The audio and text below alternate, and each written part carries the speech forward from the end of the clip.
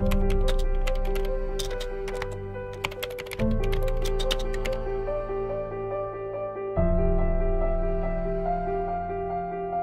mental health makes me feel dizzy, out of breath, exhausted, and paralysed.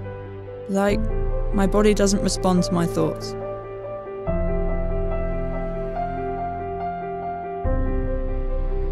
I struggle to make friends and meet new people as I really get anxious and want them to like me.